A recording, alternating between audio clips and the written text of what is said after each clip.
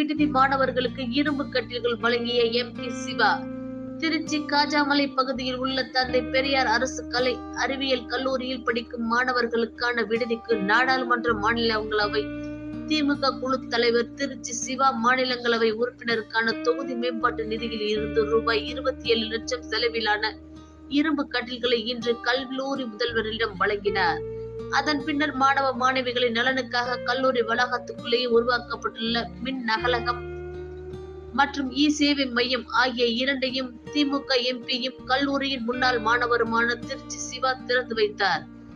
திருச்சி சிவா பேசுகையில் விடுதி மாணவர்கள் குளிர்காலத்தில் தரையில் படுத்து உறங்குவதை பார்த்து வேதனைப்பட்டு அவர்கள் உறங்குவதற்கு வசதியாக தனியார் விடுதிகளில் உள்ளது போல அரசு விடுதிகளிலும் மாணவர்களுக்கு இரும்பு கட்டில் கொடுக்க முடிவெடுத்தோம். இதன் விளைவாக இன்று முன்னூறு மாணவர்கள் படுக்கும் வசதியாக இரு அடுக்கு கொண்ட கட்டில்கள் வழங்கப்பட்டுள்ளது. இங்கு படிக்கும் மாணவர்கள் தங்களுடைய பாட புத்தகங்களை கடந்து நம் முன்னோர்களின் வரலாற்றையும் அவர்களது சாதனைகளையும் தெரிந்து கொள்ள வேண்டும். உலகம் வியக்கும் விதத்திலான பாரம்பரியம் தமிழர்களுக்கு உண்டு. இரண்டாயிரம் ஆண்டுகளுக்கு முன்பு தமிழன் தனது தொழில்நுட்ப அறிவால் தண்ணீரை தடுத்து பாசனம் செய்ய கல்லணை கட்டினான். அதுபோல ஆயிரம் ஆண்டுகளுக்கு முன்பு கட்டிடக்கலைக்கு சான்றாக தஞ்சை பெரிய கோவிலை கட்டினான். இத்தகைய வரலாற்று அறிவை நாம் பெறுவதன் மூலம் நாம் நமது அடையாளத்தை அறிந்து கொள்ள முடியும். நமது கல்லூரிக்கு தர நிர்- நிர்ணய சான்று வழங்குவதற்காக டெல்லியில் இருந்து நமது கல்லூரிக்கு நாக் குழுவினர் வரும் ஒன்பது மற்றும் பத்து ஆகிய தேதிகளில் வர உள்ளனர். அதற்குள்ளாக கல்லூரிக்குள்ளே உள்ள அனைத்து தார் சாலைகளும் புதுப்பிக்கப்படும். எனது வாழ்நாள் முழுவதும் இக்கல்லூரியின் நலனுக்காக உழைத்துக் கொண்டே இருப்பேன் என்றார்.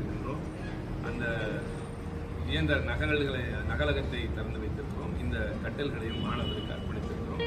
ஒரு இனிமையான விழாவாக தொடங்கி இருக்கிறது. மாணவர்களுக்கு நாங்கள் வைத்த வேண்டுகோள் தங்களுக்கு கல்வி அறிவு தந்த கல்லூரியை மறந்து விடாமல் வாழ்க்கையில் உயர்வதற்கு தளமான இந்த இடத்தை எந்தென்றும் நெஞ்சத்திலே நினைவிலே வைத்து எந்நாளும் இந்த கல்லூரியோடு தொடர்பு கொள்வதோடு மட்டுமில்லை தாங்கள் உயர்ந்த நிலைக்கு சென்றதற்கு பின்னாலும் மறக்காமல் தங்களால் இயன்ற கடமைகளை இந்த கல்லூரி வளர்ச்சிக்கு தந்திட வேண்டும் என்பதை எங்களுடைய தொடர்கின்ற தலைமுறை என்ற அடிப்படையில் அவர்களுக்கு வேண்டுகோள் வைத்திருக்கிறோம். மாணவர்கள் உற்சாகத்தோடு பங்கேற்றார்கள்.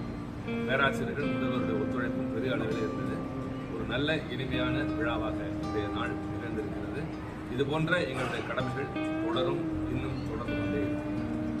ஒரு நீங்கள் முன்னாள் மாணவர் தற்போது எம்பி நீங்கள் இன்ட்ரெஸ்டாக செய்கிறீங்க அதே மாதிரி முன்னாள் மாணவர்கள்லாம் சப்போர்ட்டாக இருக்காங்களா எங்களுடைய குழு சற்றேறக்குள்ள ஆயிரத்தி எழுநூறு பேரை கொண்டதாக இருக்கின்றது. நாங்கள் வாட்ஸ்அப்பில் கல்லூரி சாரல் என்று ஒரு குழு வைத்திருக்கிறோம்.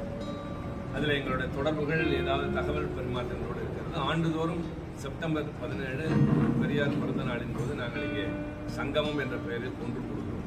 அந்த நாள் எல்லோருடைய மனதிலும் பதிந்திருக்கிற காரணத்தால் அதை ஒட்டிய ஞாயிற்றுக்கிழமை நாங்கள் எப்பொழுதும் சந்திப்பது. பதினேழு அல்லது அதை ஒட்டிய ஞாயிற்றுக்கிழமையில்